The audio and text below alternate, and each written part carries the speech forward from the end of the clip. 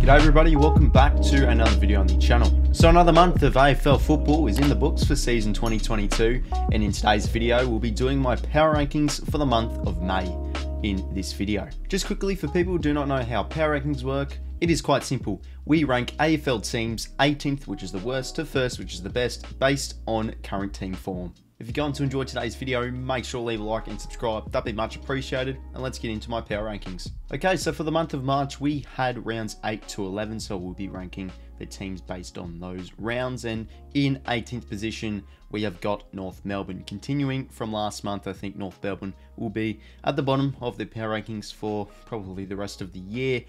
People could possibly say, why not West Coast? I just feel that West Coast um, have a lot of injuries, have a lot of key players out, but North Melbourne pretty much have a full side. You can say uh, everything bad's just happening. They've lost now nine in a row, I'm pretty sure. Just cannot execute, cannot get a lot of points, but they are showing a lot more heart, so, you know, there's a little bit of upside there. But nevertheless, for me, it's a no-brainer. Even talks off the field with the CEOs and the presidents about uh, everybody leaving their um, their draft uh, staff, uh, recruitment manager leaving as well. It's just uh, all happening over there at Arden Street. But uh, yeah, for me, North are still in 18th.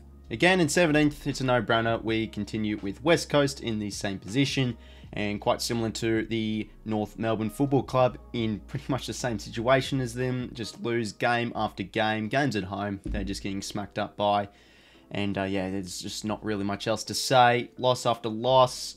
You think maybe at home they'd be playing a bit better, but they just cannot execute. Having a lot of players out injured as well does not help. And yeah, they've just been struggling a lot this season with outs and with uh, a lot of uh, top up players too. So you got to give them a bit of credit there, but uh, quite simply, they are 17th. In 16th spot, again from last month, we continue with Essendon. You know, the bottom three is pretty much staying the probably the exact same for the rest of the season. Who knows?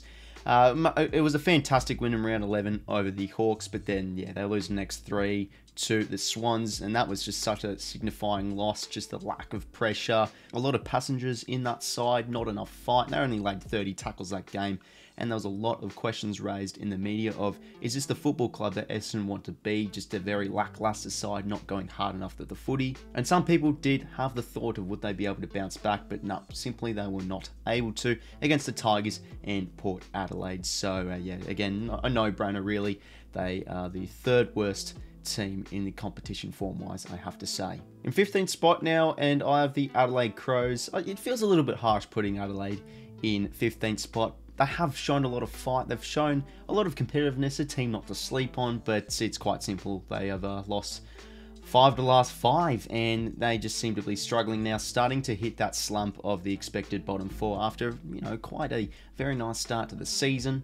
Three massive losses in the row against the Giants, Carlton, and then the Brisbane Lions. And to be fair, they were quite unlucky not to win against St Kilda. If they're a bit more accurate, let's say, they really could have picked up the four points there. And then again, they were inaccurate against Geelong and you know, lost by over 40 points. So, similar to what I said at the start of the season, I just don't feel that Adelaide have that good enough A grade or top tier talent to really drive them over the bottom four. We're starting to really see them slump game after game now. And uh, for me, they are a bottom four quality side at the moment, so I have them at 15th in 14th place now, and I do have Hawthorn Again, a bit of a harsh one. They had a terrific win over the Lions in Tasmania the previous week, but then again, it's just their playing list. It's just not very sustainable. I, again, I don't think they have enough talent to really drive them forward, and they've just lost too many games. They keep on losing results. A very competitive side, do not get me wrong, and they do have that upside, but uh, just aren't getting results, so that means they do slide down the power rankings quite a bit. But as just said, they do have that upside, Hawthorn. They really have the ability to shock good quality sides like Richmond. They were pretty close against the Tigers, beat the Lions, almost beat the Demons, but I think, but when you really do take a step back, it's just their midfield I feel isn't good enough. Just a lot of underachieving plays in that side. A handful of players like Dylan Moore and Mitch Lewis were fantastic at the start of the year, but are really starting to be quite patchy form-wise, and I think just such a signifying loss for him was against Gold Coast the other day ago. Just a massive one. Uh, we're not competitive, we're not up for it, and uh, yeah, quite simple. I have Hawthorn at 14th. In 13th place, I do have the GWS Giants. again, it's just harsh to really rank some of these teams. I feel like you could possibly put Giants a bit higher because, in my eyes, out of many teams around their range, they have extremely high upside at the moment. A new coach of Mark McVeigh last week, his first game, great win against the West Coast Eagles. And their game on Saturday, they really could have won that game against the Lions at the Gabba at the home deck, and they've only lost one game from like their last 30 over there at the Gabba, the Lions, and they really put it up to them, the Giants. So they do have a lot of that upside, and I think list wise, we all can agree they do have a terrific list, but just aren't gelling together. And it could be possibly the reason why they aren't gelling together is because of their staff. Leon Cameron has been at the side for quite a long time now, and it will just give the playing list, I feel, a breath of fresh air under the new coach of Mark McVeigh and James Hird, etc. But then again, they do have to be 13th because they have not been able to get results in the past month. Again, great win over the Eagles, but you know, quite literally any team can beat the Eagles. Losses to Carlton, Geelong, and as mentioned before, the Lions. So yes, they might be 13th at the moment, but I have every belief that they can really push up my power rankings. They have quite a lot of upside at the moment, the Giants in 12th position now, and I do have Collingwood. I know this is a very, very harsh one to put them. It's a bit, probably a bit far too low. The Pies, they had great wins over Fremantle and, of course, the Blues earlier today. That was such a massive win.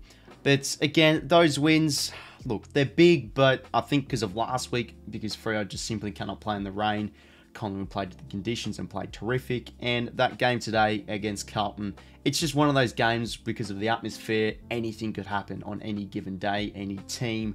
And but nevertheless, I'm not writing them off. It was a terrific win. But I still feel that their list they are predicted to be around a bottom six side. I don't know if they can really show the consistency to push up into the top eight. They have every right to become a finals quality side. But for me, I think there's just a few teams that show a bit more upside and a bit better of a playing list than Collingwood. So I'm just sitting them around 12th at the moment because I think there's a few better performing teams than the Pies. But still, they've had a somewhat decent month. I think before that they had losses to Richmond and the Bulldogs, and those yeah, just losses were just not good enough. And that's what I mean. I feel like they'll show a bit of inconsistency. And also playing list wise, they've got some great numbers in there. The Daicos brothers are having a good year. Jack Crisp seems to be on track for another BNF award. And also the thing that is hurting them are a few injuries as well. Roughead retiring their you know, second or very their heart of their backline, very important key defender, uh, the number one ruck out, the number one tall forward out, you could say of Kruger. So I think it could really hurt them in the future. But uh, yeah, still rate them the Pies, but I've got them at 12th in 11th place now, and I do have Port Adelaide. They're really starting to get on a roll for season 2022. They've won the last four out of the last five, and they have been, I guess, a few of the wins have been a few soft kills. They did get a win over, well, fantastic win over St Kilda, then a, really convincing win over the Bulldogs. And I think that's the win that really signifies their season, saying, you know, they're every chance to make the eight, then a soft kill win over North Melbourne. They did fall short to the Geelong Cats, but at the Cattery, it is quite fair enough. It is hard to win over there. And then a pretty ordinary win against Essendon. But I do have them at 11th. I pushed them quite a bit up because they're starting to get a few players back. They should get Scotty Lycett back soon, I'm pretty sure. They do have Charlie Dixon back in, who is just such a massive asset in that forward line. Fantasia should be back soon. And I think some of their players are starting to play quite well now. Rozee and Butters are a great combination in their midfield. Ollie Wines is starting to pick it up a bit. Boak's been great too. And their forward line, who have been fairly isolated this season, of Finlayson and also Georgiades and Todd Marshall are playing great footy too. So I think Port Adelaide have every chance to make finals footy. They start to really turn it up a bit. They do have hard fixtures coming up though, so I think it's against the Swans, Richmond, Gold Coast, and Fremantle over their next four weeks of footy. So I think that's the really big month for Port Adelaide to really show are they capable of making finals because I've got to get results in those games if they want to make the eight.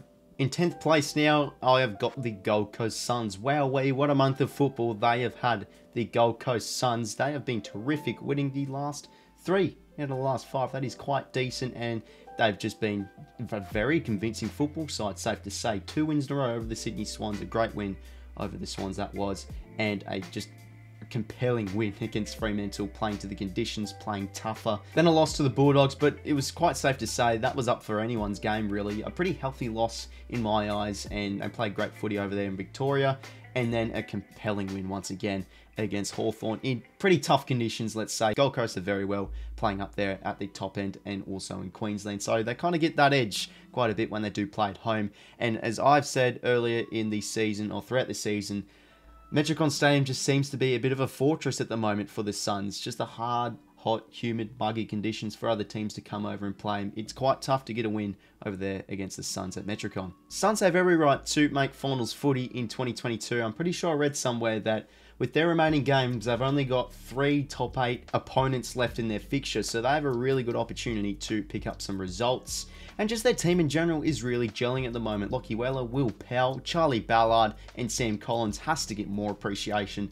They are seriously one of the most underrated key backs or the most underrated key back duo in the competition. Touk Miller, Noah Anderson, Fiorini doing the business. Witts is in career best form. Their forwards too, very effective. Izak Rankine's finally in some great form. Levi Casboult, Mabior Chol's having the season of his life. Joel Jeffrey as well bobbing up over these last two weeks. They're just seriously a well-oiled machine at the moment. I just when watching them play, quite a convincing side. Very hard at the footy.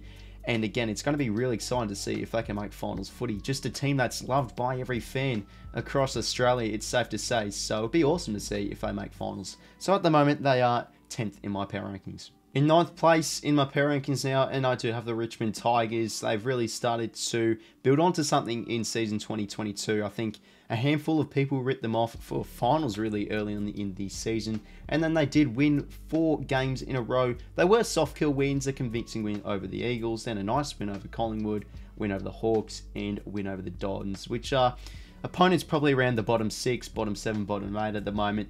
Uh, and then it was a massive test for them. They really could have beaten Sydney. They really could have bolstered their way up my power rankings and the AFL ladder, but they did fall short. And I think Sydney really deserved to win that game. They got a bit too comfortable with a 30 plus point lead, and it was just a massive test between them and the Swans. Both really even teams, I feel, on the power rankings. And again, they are in the hunt for finals. It'll be interesting to see if the Tigers are able to make finals footy. I did predict them as sixth place in my season predictions at the start of the year.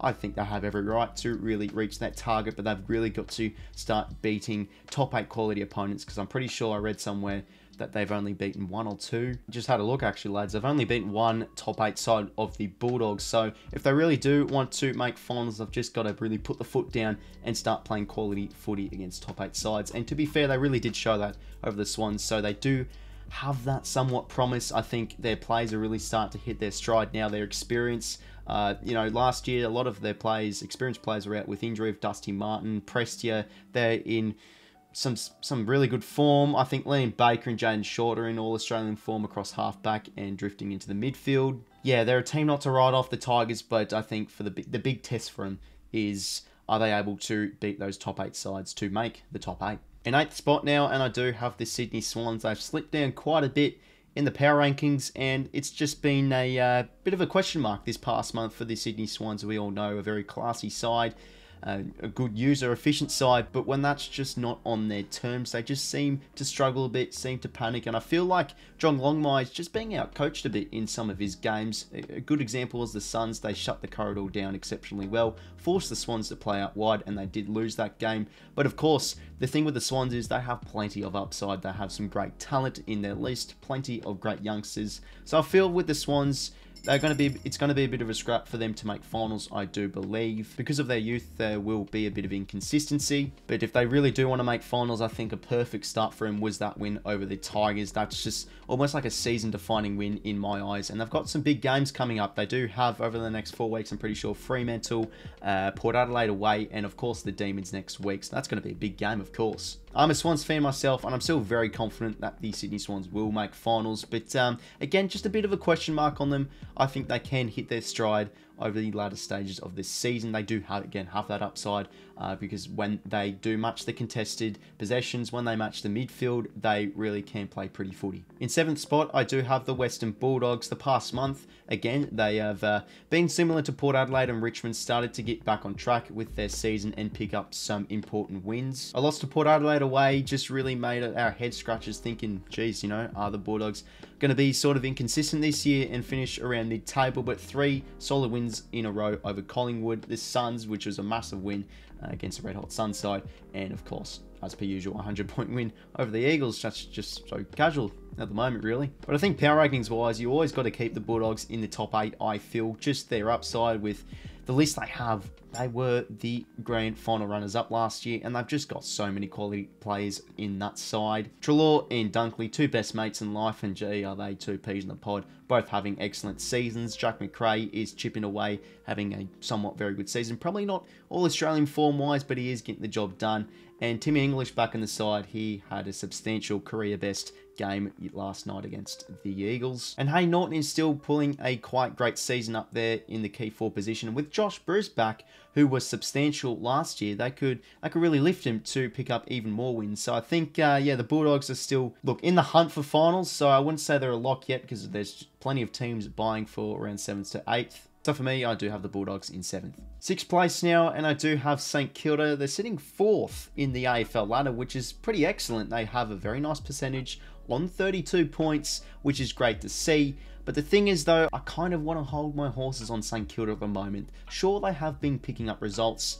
Uh, they had a great win over the Cats, very solid win over Adelaide, but again, you know, that, that game against Adelaide was pretty ordinary. Adelaide could have really beaten them if they were a bit more accurate. So I think the thing is with St Kilda is they are a good side. They're a solid side, but I just feel with their playing list, they that it just disallows them to be a very good side. I said earlier at the start of the season, I just feel with the Saints that they really lack a lot of A grade talent.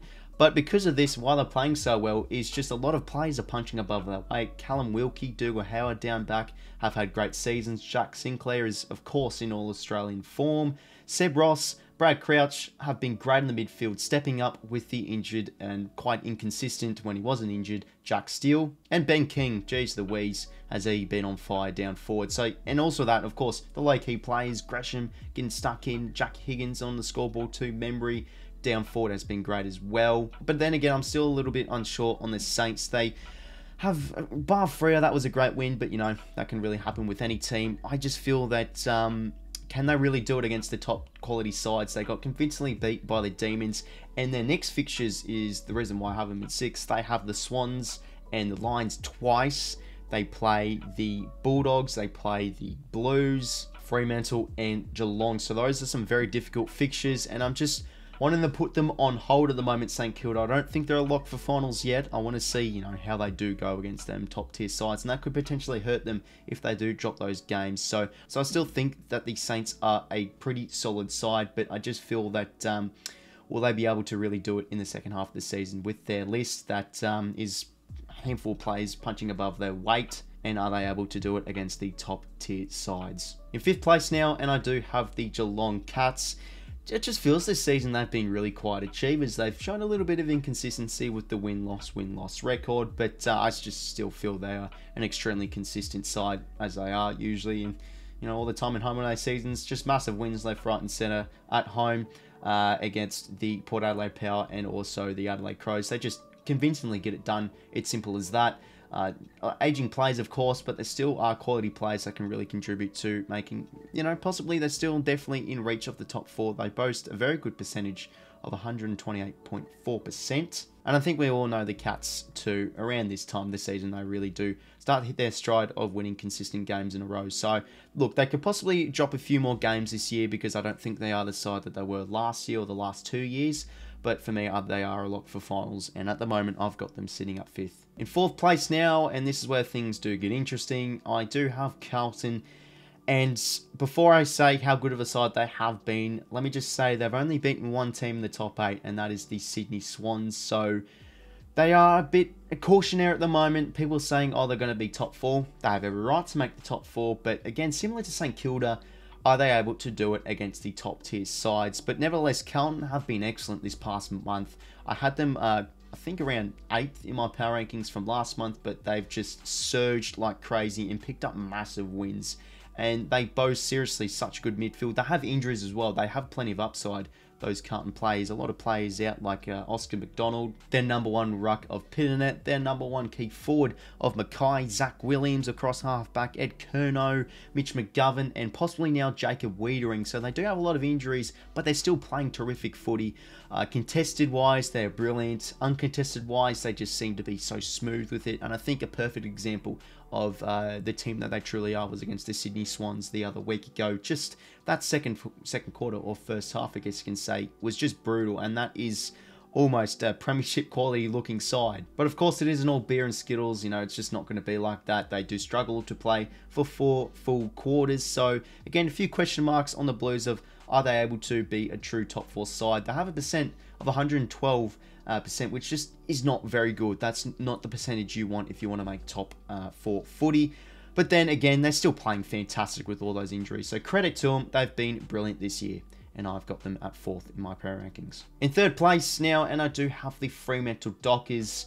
Past month, there's just been a bit of hiccups, but geez, some of their wins have been signifying defeating North Melbourne by 78 points. But geez, only allowing North Melbourne to kick 24 points was just crazy. And this was at the time of saying Fremantle possibly have the best defence in the league. And uh, the wet weather footy unfortunately did hit them. It just, I think it's because Perth is just a city that rarely rains. They, because of this, they always just struggle to play a bit in the rain. Uh, losses to the Gold Coast Suns and Collingwood by quite convincing margins, and they were in the media for quite a bit. Longmuir had the perfect press conference of saying to his players, to his fans, that we had a bit of a reality check. We're too ahead of ourselves. And how about that with a response, or name a better response than beating the Melbourne Demons by 38 points? And that second half was an awesome surge. Stephen May went out, and I have to say quickly, that just shows how um, big Stephen May is for the Demons. When he goes out, it just feels like there's just a heart missing, a massive core, massive cog out of that Demons defence. And uh, what a win that was. I think it was Aish. The target on Oliver was brilliant. Frederick kicking goals for fun. Same with Schultz. Again, just Fremantle. Look, the last two weeks were tough. I think it's because of the wet weather, but they're seriously flag mantle, as they do say, is still on really. And uh, for me, they could possibly possibly be top four lock. I think they will finish in the top four, and they have every right to, of course, bar those two games. If it, if it's just good weather, if it's not rainy, I think you know they'll most likely win against any opponent on any given day. In second place now, and it is quite obvious, I do have the Brisbane Lions. Great month of footy they had, of course. Big win over the Eagles over there at the Gabba, and then another convincing win against the Adelaide Crows. They just again they've done it all season, just picking up solid, solid wins. Just their list again, one of the best in the competition.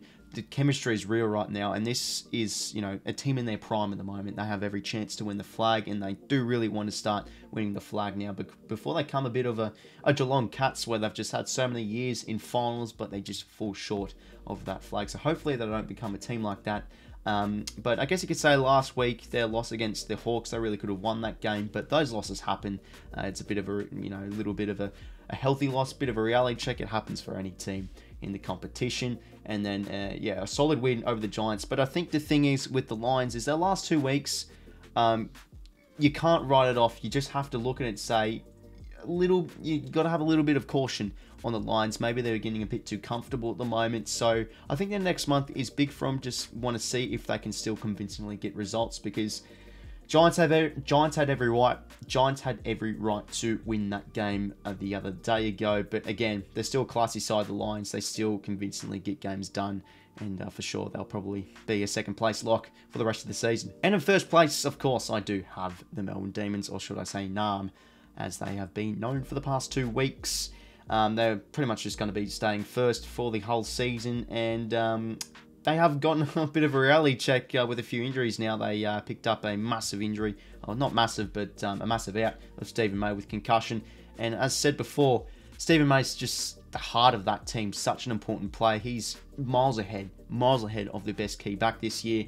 And when he goes out, look at that, their defense kind of falls apart, and Freo uh, just bolster them, just smash them, and they pick up the win. But uh, about Melbourne, the Demons, anyway, it's quite obvious they've been a, a star side. And look, they um, haven't really played many top four quality opponents. I think a lot of people are saying this. You know, they they picked up pretty soft kill wins. Their win over St Kilda was very convincing, so they still can beat those those top eight sides. Uh, win over the Eagles and then North Melbourne, and then before that uh, Hawthorn. They got really challenged by the Hawks, so that's a thing. They've played a lot of bottom 10, bottom 8 sides, so I still think they will finish first on the ladder, but I think it's still going to be an interesting next month for them. They've got the Swans next week, so I think will will they bounce back? Will they show you know the team that have been this whole season? But in my eyes, they should be perfectly fine. They're still clearly the best side in the competition, and for me, that should be pretty comfortable of making the grand final in my eyes. So everybody, there were my power rankings for the month of May of the 2022 AFL season. Thank you very much for watching. Make sure to leave a like and subscribe if you did go on to enjoy today's video. And also feel free to comment down below and let me know what you think of my power rankings and feel free to comment down yours below too. So anyways fellas, that's the end of today's video. Thank you very much for watching and until next time, I'll talk to you later. See you later fellas.